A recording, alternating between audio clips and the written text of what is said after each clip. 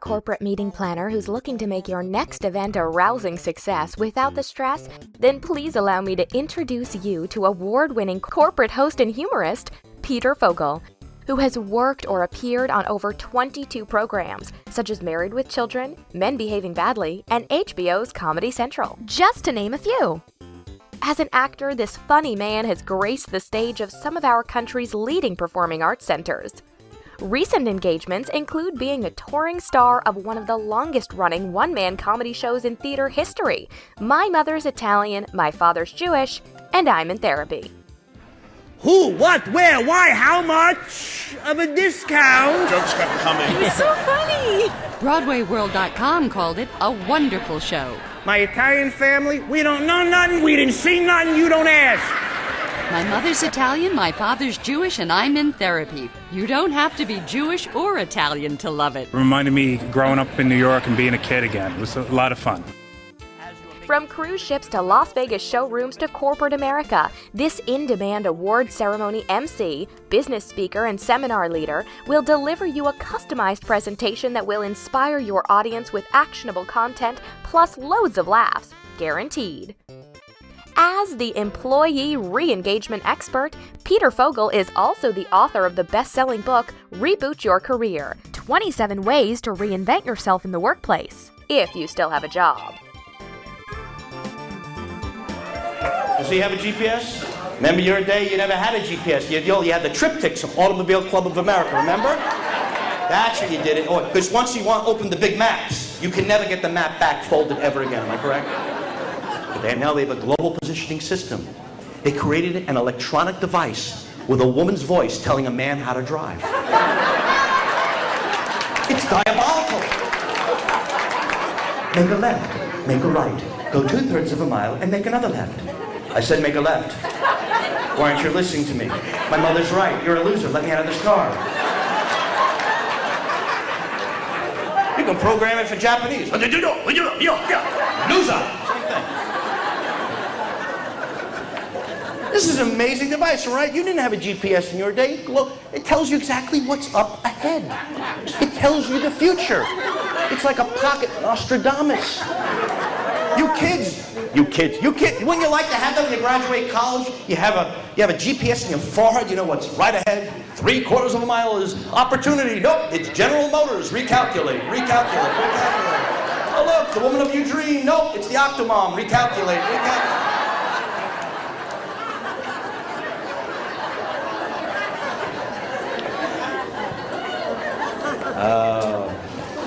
I do cruise ships. Anyone go on cruise ships? Ah, what a surprise.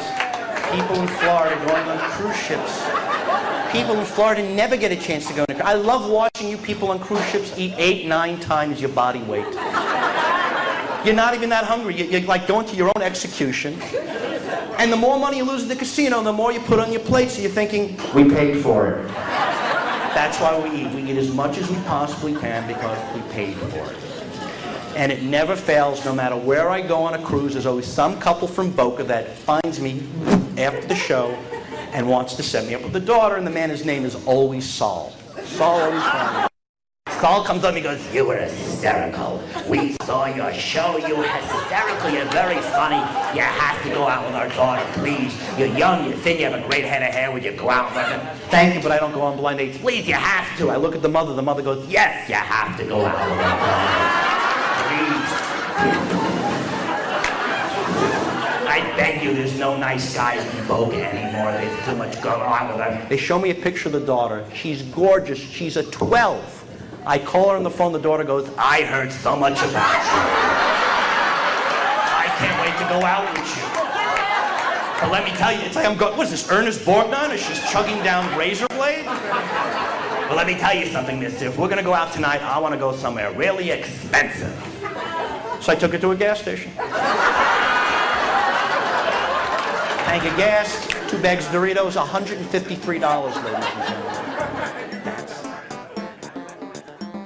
gentlemen. I don't want you people to ever give into as you are making this transition, because I would all say you folks are reinventing yourselves, correct? Yes? This is, this is a whole new change. This is like the second part of your life. Um, let me tell you something about fear. Fear you can overcome. Regrets last a lifetime. And the number one fear that people have, do you believe the number one people have in the top 10 lists of fears is what I'm doing right now? Do you believe that? Public speaking is the number one fear people have. You know what's seventh? Death. the worst thing that can happen is you giving a eulogy at your own funeral. Number one is public speaking. Two is heights. Three is bugs and insects. Four is financial problems. Uh, five is deep water, and let's face it, if you have financial problems, you are in deep water. Six is sickness. Seventh is death. Eight is flying. Nine is loneliness. Ten is dogs. Repite, por favor. Let's go over that. One is public speaking. Two is heights. Three is bugs and insects. Four is financial problems. Five is deep water. Six is sickness. Seventh is death. Eight is flying. Nine is loneliness. Ten is dogs. So when we put this all together, the biggest fear I could possibly have is feeling nauseous, being on top of the Empire State Building, trying to get bugs off my body, looking over the edge, not scared that I'm going to fall to my death, but I'm going to fall into a vat of water. I want to go in and talk to my friends, but I'm scared because I lost all their money in the stock market for them. I want to go on a vacation, but I have a fear of flying. I'm feeling very lonely right now, and what is that poodle doing up here? But the one thing you have control about is your sense of humor. That is the one thing that I preach when I do a public speaking, is how to overcome adversity with, uh, with laughter. That's the one thing you can have control of your life is your sense of humor. Don't let anything ever get you down. You will have your ups and downs. You, uh, you want to feel good about yourself. This is one of the secrets that I, I have determined. If you want to find, so, just find someone off who's a little worse off than you. I'm not talking disabled, but find that one friend that has the drama in the life you know, everyone has drama. Find someone who has drama. You know the person has drama. Everything goes wrong. This is happening. That's happening. I didn't get the loan mod. I did get the loan mod. I'm for everything that's happening to them, what's going on to them. And they, go, oh, the dog ate the, the homework. The homework ate the dog. My neighbor shot the dog, whatever. Sit that person down and look them in the eye and go, I support you unconditionally. I love you. But every day I wake up, I thank God I'm not you. that is the secret. Watch the Jerry Springer show. And no matter what's going on with your life, you say, Thank God I'm not these people. Help you with your problems.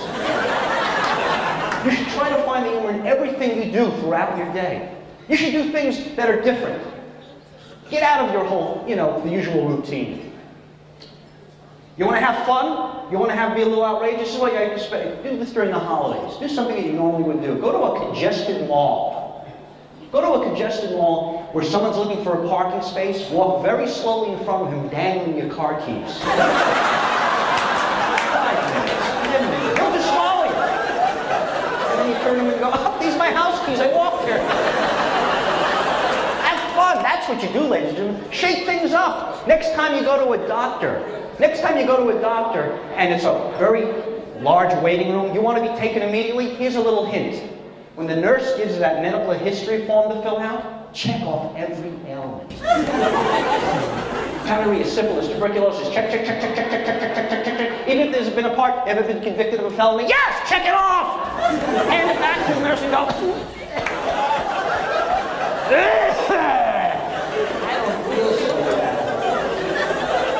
Have fun. Have fun. What I did, you know what I did this New Year's Eve? You know what I I stayed stone sober got on the LIE and weaved. Just to upset the police.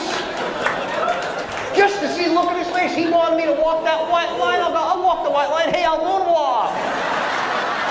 I'm sober now. I'm going to a party to get drunk.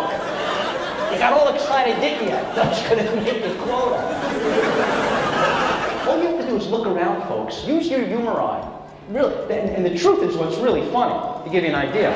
Peter, I just want to thank you for uh, what a wonderful time at the ConnectWise Partner Summit 2006. Uh, our industry is a little unique, as you found out, being the IT services, but you really nailed it on the head, and our audience of 600 people I think really felt that you knew the industry inside and out, and uh, just a testimony of how your expertise in comedy uh, can translate into an industry that uh, you want to apply it to. Thanks again. It was great, great show. Recommend you to anybody. Hi, I'm Brian Farrell with the Edison Electric Institute. I hired Peter Fogel to speak to an industry group. He was fabulous. It was really very funny, hysterical. He customized it to meet the needs of the group, brought in a lot of local material, improvised on the site. It was truly outstanding. I would highly recommend it. Jeff Polishek, president of FLAPA. Uh, we just had a great evening listening to Peter. Uh, a lot of funny jokes, uh, great, great humor with our organization. Happy to have him back again next year or whenever else uh, our conferences happen. So just a great night all the way around. Thank you.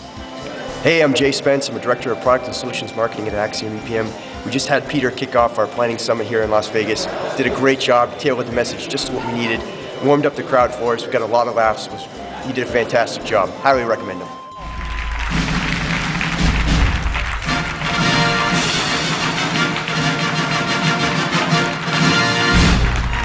him. Joshua, you have a question?